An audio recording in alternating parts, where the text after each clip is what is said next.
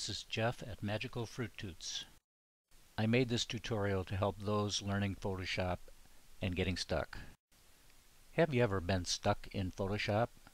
For some unknown reason you can't click on a tool or adjust the display size of a brush?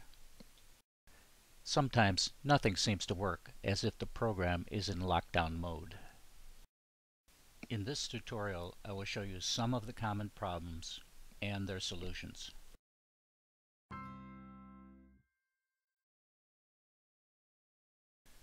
For some strange reason, all of a sudden Photoshop is in full screen mode. You probably have accidentally pressed the Tab key. The Tab key toggles full screen.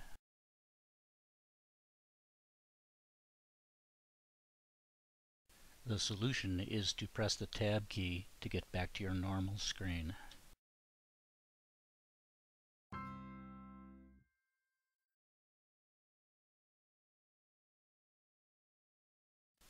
Occasionally you will open up an image that is in indexed color mode. Usually these are GIF files, but can be JPEG files. If you select Image and Mode from the menu, you will see the indexed color that has been checked automatically. When you open this type of image, your editing abilities are severely reduced. Notice that many of the Edit and Layer menu options are not available. Also notice the layer is labeled Index and is locked. The solution is to go to Image Mode that supports most adjustments. For example, Image Mode RGB Color or Grayscale. Once you are done working with the image, you may wish to convert it back to indexed color depending on what you were doing with the image.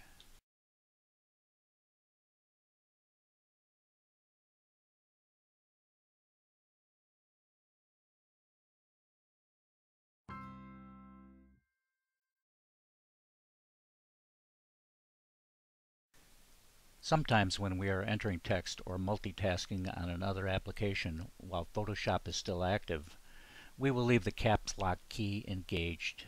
This will cause the brush cursor to toggle to a crosshair. Simply press the caps lock key again and the normal brush cursor will return. Another possibility is that the brush cursor is too small for the resolution of the document. For example, a brush size of 30 will show correctly on a 300 pixel per inch screen, but brush size of 10 will show as a crosshair. If you zoom in a little bit, it will show up.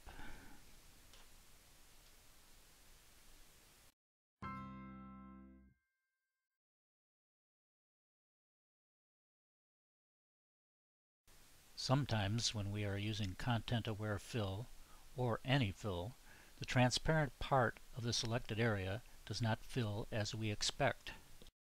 Here we have an empty area to be filled. Next I select, modify, expand by 6 pixels the area around the selection. Now we choose Edit, Fill, Content Aware. Notice I have the check mark on Preserve Transparency. I've sped up the video to save time. The progress bar leads us to believe it's working, but it doesn't work. Now I'll try it again, but this time when we get the content aware dialog I'm going to make sure the preserve transparency box is turned off. This time it works as expected.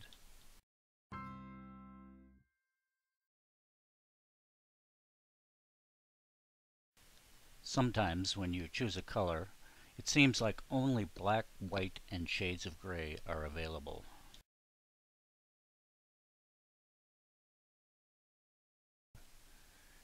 Here I've chosen red. And I still just get a grayscale tone. This is caused by a mask thumbnail being active. Notice as I switch back and forth between the mask thumbnail and the regular thumbnail that the foreground and background color changes from grays to colors. The solution to the problem is to make sure you're not in the mask thumbnail when choosing colors.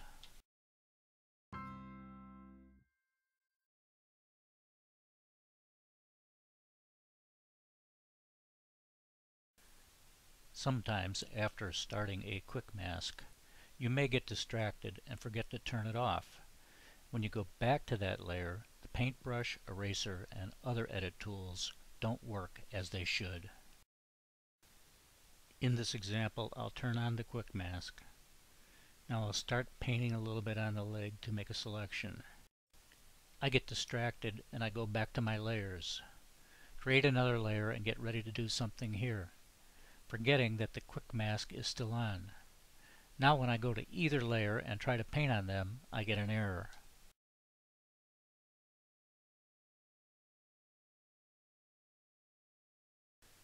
Notice that in this version of Photoshop that the active layers are now colored white.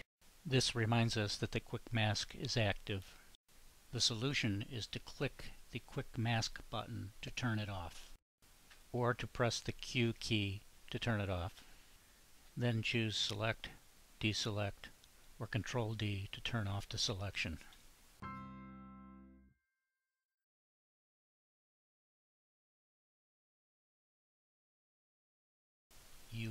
Performed a transform, text edit, crop, or resize with the Move tool.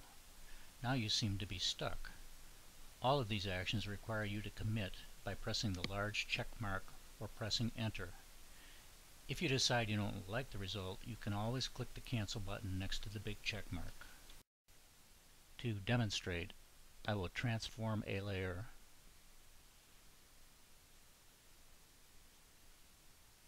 and then cancel it. Next, I will edit some text.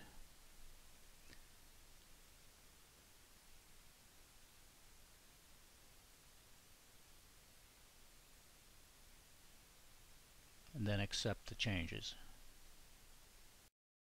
Now I will select the Move tool, then select the Spidey layer, then go to resize the layer. Then press the cancel button.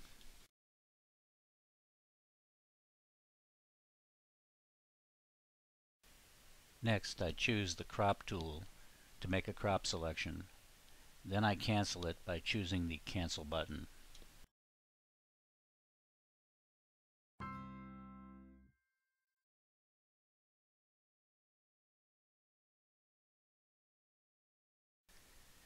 You have opened up an image in Photoshop. It will appear as a layer named background and will be locked.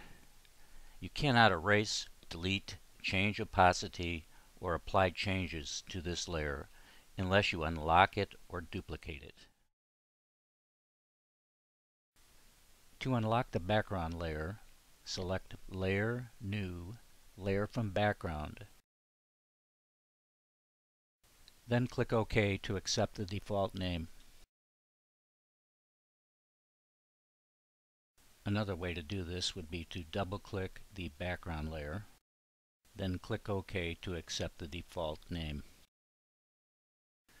Usually it is better to duplicate the background layer rather than unlocking it, so as to have a clean copy of the original image in case you mess something up. Here are some ways that you could duplicate the background layer. From the menu you could choose Layer, Duplicate Layer, OK. Another alternative would be to right-click the background layer, then select Duplicate Layer, then select OK. The third alternative would be to drag the background layer down into the new layer icon at the bottom of the panels area. This will create a new background copy. Thanks for watching.